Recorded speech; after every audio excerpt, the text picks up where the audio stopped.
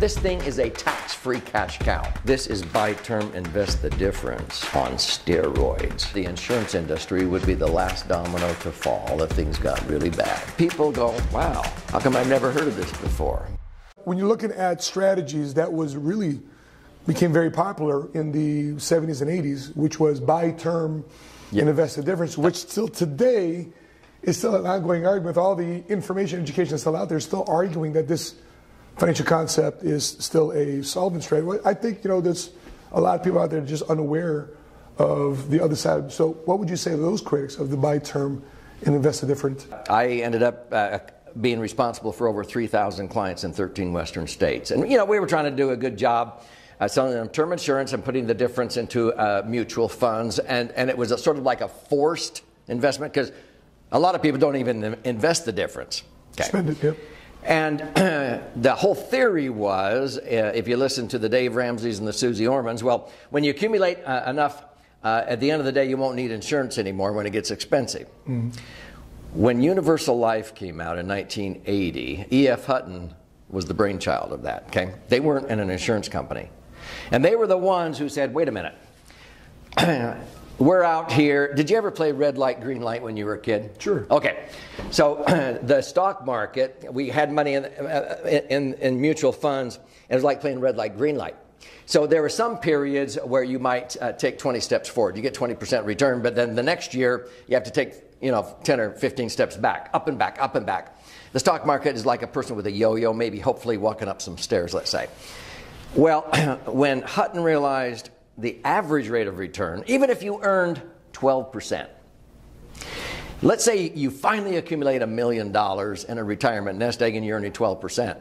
That's 120 grand a year. You pull out 120,000, uh, you're taking 12 steps forward, you're taking four steps back in tax between federal and state tax. You take another step back in fees because they're charging 1% on that million. You're netting seven, even though you're grossing 12. Do you know what most people actually earn with their money in the market because they get invo- involved in emotion? They, they watch, like in 2001 to 2003, they watch the market go down, down, down, down, and they finally say, enough already, and they sell. They sell low. And then they wait, wait, wait, wait, and they buy high. So Dalbar who studies investor behavior, says the average, especially retiree only, is earning 3.5%. This is what precipitated the 4% rule in the financial services industry. So they're not earning 12. You got a million bucks, you pull out 4%, uh, that's 40 grand. You pay tax in a 25% bracket of 10,000. Now you're netting 30. Now, what, what about the 1% fee on that? That's another 10 grand. You're living off of 2% or 3%. I don't know if you're like me, but I don't accumulate a million bucks to have a measly 20 or 30,000 net to buy gas, groceries, prescriptions, and golf green fees. That's pretty pathetic. With my Index Universal Life, I was able to uh, participate in the market without the risk. When the market went up, I'm able to earn. When it goes down, I don't lose because of indexing. So, in answer to your question, by having my money there, I'm able to earn average returns. Uh, uh conservatively, I've earned 8.2% net, cash on cash. So a million dollar nest egg can generate 80,000 a year of tax-free income, whereas most IRAs and 401ks, you're going to be lucky in the market to net uh, to, to earn four and net three or two because of the taxes.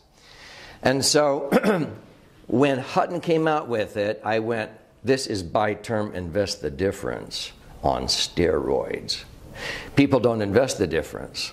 If I maximum fund it, my cash value pretty soon uh, equals the death benefit and pushes it ahead. So the cost of the insurance, hear this, gets cheaper as you get older. And people go, What? I've never seen an insurance policy that gets cheaper as I get older. Well, you haven't seen one done correctly then. Because my universal life policies that are 30 years old cost less than 120th what they did when I was 30 years younger.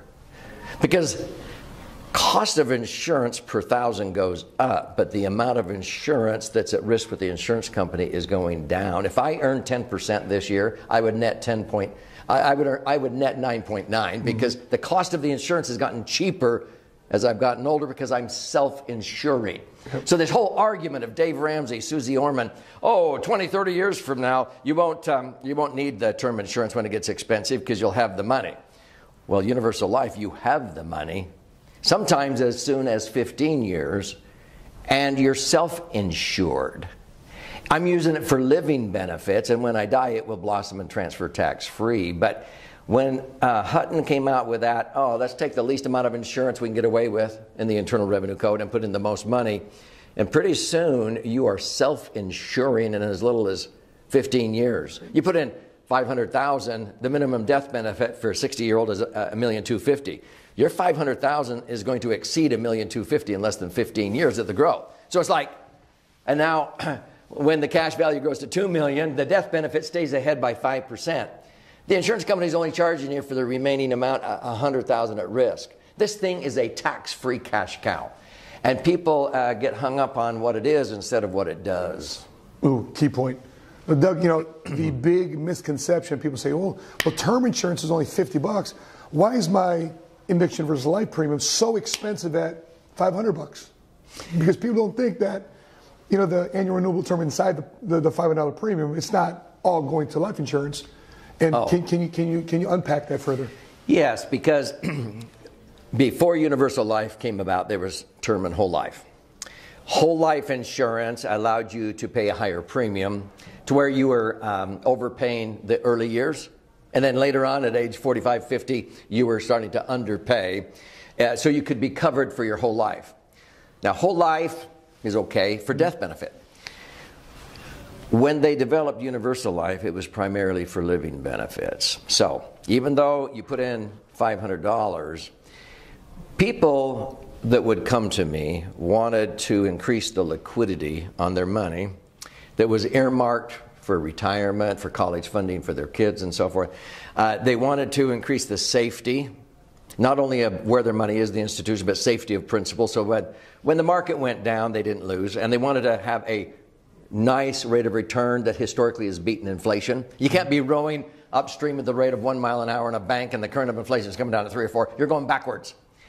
And so people would say, Doug, where can I put my money that's earmarked for retirement, uh, my kids' college education, emergency funds? And I'm going, well, let me show you this Swiss Army knife. Okay? Now, you put your money in here and you go, wait a minute, that's $500 a month. Well, how much are you putting in the company's 401k? What if I could show you this will knock the socks off of that? What about this money you have sitting in the bank earning a measly 1%? If you could increase the safety and the rate of return up to 5%, how much more is 5 than 1? It's 5 times. And all of a sudden they go, yeah, makes sense. And then I would create an illustration. Mm-hmm. I'd say, here we go. The first few years, they may look at it and go, well, uh, there's some fees in there.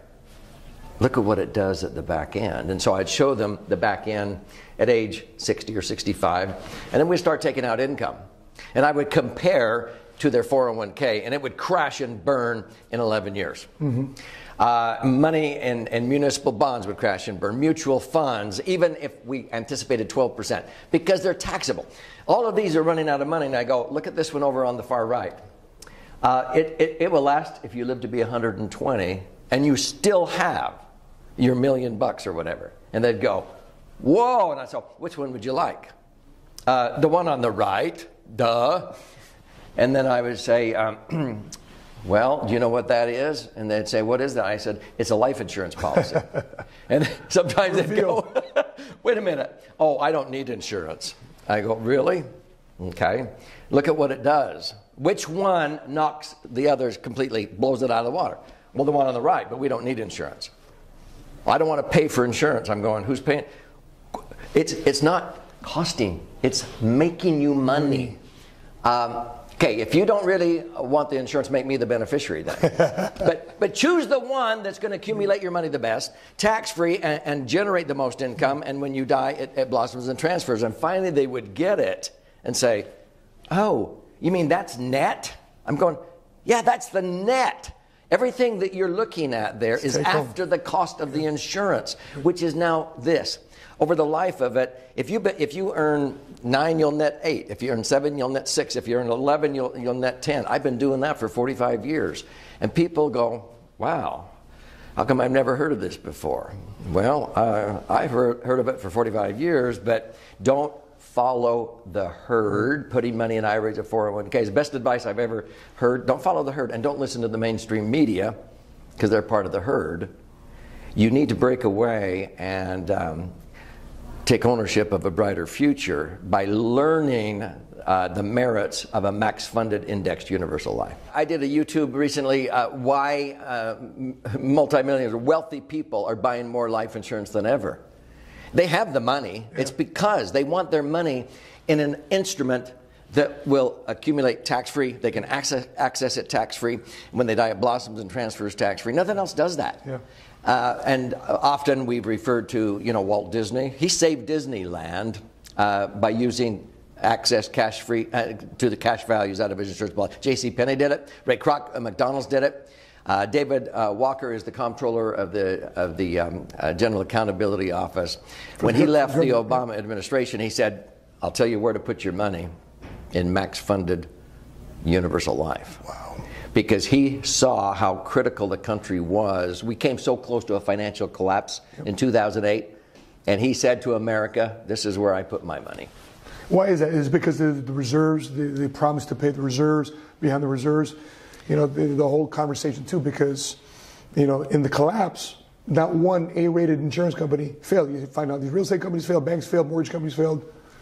Yeah, a lot of people don't understand that uh, the insurance industry, legal reserve insurance industry, is not only the backbone of America, but the backbone of the world. This is, again, if you were to look at uh, banks, in 2008, 400 banks went under, 900 more were on the brink on the watch list. Mm-hmm. And not one legal reserve insurance company went under. If they had a little bit of a, a, run on the bank thing like AIG did because of the mortgages and so forth, it was uh, they were able to uh, they couldn't call all their mortgages due instantly. But there's always in the, um, the legal reserve insurance industry, uh, you cross insure, which is way better than an FDIC. FDIC technically went broke when they bailed out the savings and loans. So, one insurance company uh, not only manages billions, one I'm thinking about uh, manages about three trillion. That's as much money as the IRS collects in taxes in an entire year. One insurance company, and they manage that much money, maybe with one skyscraper full of employees. You know how many federal employees uh, uh spend? You know, it takes to manage, you know, three or four trillion that the IRS brings in. So, this is how I look at it, Matt. When people say, "Why do you put your serious cash there?" It's because, in my opinion, the insurance industry would be the last domino to fall if things got really bad. Okay, you'd have so much forewarning because the banks would be uh, uh, collapsing. Uh, in the Great Depression, 80%, uh, real estate dropped 80%, a lot of real estate. Banks went under, 40% never uh, reopened again. Not one legal reserve insurance company went under in the Great Depression. They came through with flying colors, crediting 2.5, 3, 3.5%. So we would have so much warning if that if the economy is ready to collapse, that you could take out your money out of the insurance policy because it's so liquid. Uh, this is where banks put 30 to 40 percent of their tier one assets for liquidity and safety because they asked the five major banks in America in 2008, where do you have your money for liquidity and safety in case of a run on your bank? Guess where they had it? 30 to 40 percent was in BOLI, bank owned life insurance. See, it's the owner of the insurance policy that gets all the tax free accumulation of that. But let's say it got really bad and you got your money out of your insurance policy. If the American dollar became worthless, what good would it do to have your money? See, the last domino to fall would be the insurance industry. Uh, you can't buy, uh, live on gold and silver. You can't eat that. Mm-mm. So I choose to put my serious cash in the last domino that would fall. And if that fell, the American dollar would be worthless anyway. But you want it in a, in a, in a position of safety and liquidity so that you can convert it to gas and groceries or food or whatever. Mm-hmm. But, uh, you know, the fact of the matter is there's things in life even more important than the money.